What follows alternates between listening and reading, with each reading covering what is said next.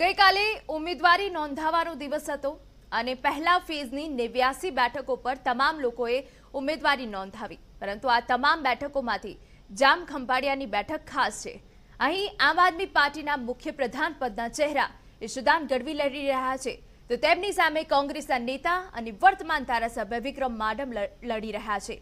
આ બેઠક પર ખરાખરીનો મુકાબલો જોવા મળશે.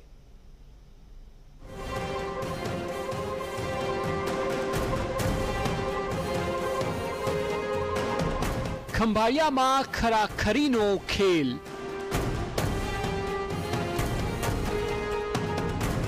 ઈસુદાન વર્સેસ વિક્રમ મારમ વર્સેસ મુળુબેરા તમામની ઉમેદવારી જીતની જવાબદારી. દ્વારકા જિલ્લાની એક્યાશી ખંભાળિયા વિધાનસભા બેઠક આખા ગુજરાતમાં ચર્ચાનું કેન્દ્ર બની છે. અને તેની પાછળનું કારણ છે આમ આદમી પાર્ટીના મુખ્ય પ્રધાન પદના ઉમેદવાર ઈસુદાન ગઢવી. કેજરીવાલે ઈસુદાનને સીએમનો ચહેરો જાહેર કર્યા બાદથી તેઓ ક્યાંથી લડશે તે સૌથી મોટો પ્રશ્ન હતો. પરંતુ બાદમાં કેજરીવાલે ટ્વીટ કરીને લોકોને માહિતી આપતા કન્ફર્મ થઈ ગયું કે ઈસુદાન ખંભાળિયાથી જ લડશે.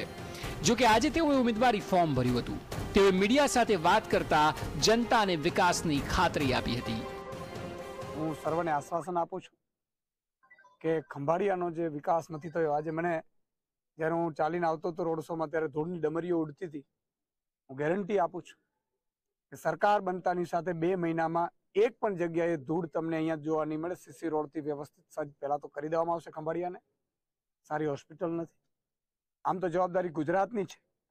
પરંતુ મારા વતનની જ્યારે વાત છે ખંભાળિયાની દ્વારકાની ત્યારે અહીંયા પંચોતેર વર્ષમાં આઝાદી પછી વિકાસ નથી થયો વિકાસની ગેરંટી આપીએ છીએ. બીજી તરફ કોંગ્રેસના વર્તમાન ધારાસભ્ય વિક્રમ માડમે પણ ફોર્મ ભર્યું અને કહ્યું કે આવનારા સમયમાં પણ તેઓને જનતાનો સાથ મળશે. ચૂંટણી છે એ લોકશાહીનું પર્વ છે. અને લોકશાહીના પર્વમાં લોકોનો અધિકાર છે કે આવતા દિવસની અંદર એમના પ્રદેશ ઉપર કોણ રાજ કરે, વ્યવસ્થા કરે. એટલા માટે જે ધારાસભાની ચૂંટણીની અંદર ફોર્મ ભરવાનો આજ છેલ્લો દિવસ છે, કોંગ્રેસ પાર્ટીના કાર્યકરોને લઈને કોંગ્રેસ પાર્ટીના ઉમેદવાર તરીકે હું જનતાના વિશ્વાસ સાથે અત્યારે ફોર્મ ભરવા જાઉં છું. મને પૂરેપૂરો ભરોસો છે કે જનતાએ મને બે વાર ધારાસભ્ય અને બે વાર સાંસદ બનાવ્યો છે. આજે ત્રીજી વાર ધારાસભ્ય મને બનાવશે. આ તરફ ઉત્સાહપૂર્વક વાતાવરણમાં ઉમેદવારી ફોર્મ ભરવામાં આવ્યું હોવાની વાત ભાજપના ઉમેદવાર મૂળુ બેરાએ કરી હતી. એક્યાસી ખંભાળિયા ભાણવડ વિધાનસભાનું ભારતીય જનતા પાર્ટીના ઉમેદવાર તરીકે હમણાં જ મેં મારું ઉમેદવારી પત્ર રજૂ કર્યું છે અને ખૂબ ઉત્સાહપૂર્ણ રીતે કાર્યકર્તાઓ દરેક વિસ્તારમાંથી, દરેક ગામ શહેરોમાંથી આજે અહીંયા ઉપસ્થિત છે અને અહીંયા ખૂબ ઉત્સાહપૂર્ણ વાતાવરણમાં ઉમેદવારી પત્ર ભરવામાં આવ્યું. ત્રણેય પાર્ટીઓ પોતપોતાની જીતના દાવા કરે છે. પરંતુ આપને જણાવીએ કે આખરે ખંભાળિયા બેઠક પર કઈ જ્ઞાતિના કેટલા મતદારો છે અને તેમાં શું સ્થિતિ છે? ખંભાળિયામાં કુલ ત્રણ લાખ બે હજાર મતદાર છે, જેમાંથી બાવન હજાર આહિર છે. જ્યારે કે પચાસ હજાર લઘુમતી મતદારો છે, પાંત્રીસ હજાર સથવારા, ચૌદ હજાર રાજપૂત મતદારો અને અઢાર હજાર દલિત મતદારો છે. વિક્રમ માડમ ગત વખતે અહીંથી જીત્યા હતા અને અત્યારે આમ આદમી પાર્ટીએ અહીંથી પોતાના મુખ્યમંત્રી પદના ઉમેદવારને ઊભા રાખ્યા છે. એટલે એક વાત ચોક્કસ છે કે અહીં ચૂંટણીનો જંગ બરાબરનો જામશે આમ આદમી પાર્ટી પોતાની તાકાત લગાવી રહી છે, જ્યારે કોંગ્રેસ પોતાની બેઠક જાળવવા માટે કટિબદ્ધ છે અને ભાજપ પણ પ્રયત્ન કરી રહ્યું છે.